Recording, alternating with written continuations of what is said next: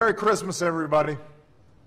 Now, we're not going to take too much of your time because today's about family and being together with the ones you love. And luckily for me, that means I get a little help on the weekly address as well. The holidays at the White House are such a wonderful time of year. We fill the halls with decorations, Christmas trees, and carolers. And this year we invited more than 65,000 people to join us. Our theme was a children's winter wonderland, and Americans young and old had a chance to come together and celebrate the season. And today, our family will join millions across the country in celebrating the birth of Jesus. The birth not just of a baby in a manger, but the message that has changed the world. To reach out to the sick, the hungry, the troubled, and above all else, to love one another as we would be loved ourselves.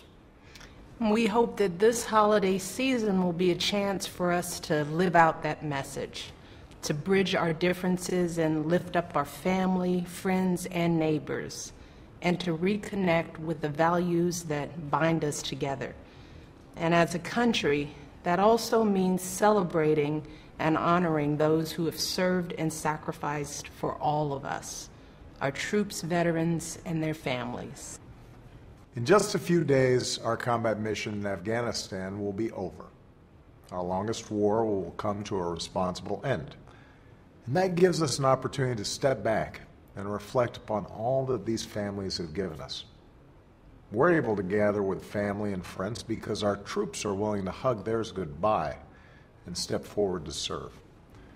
After a long day, we can come home because they're willing to leave their families and deploy. We can celebrate the holidays because they're willing to miss their own. And so, as our troops continue to transition back home, back to our businesses, our schools, our congregations, and our communities, it's up to all of us to serve them as well as they've served us. And you can visit joiningforces.gov to find out how you can honor and support the troops, veterans, and military families in your communities. That's something we can do not only during the holiday season, but all year round. So, Merry Christmas, everybody. May God bless you all, and we wish you and your family a happy and healthy 2015.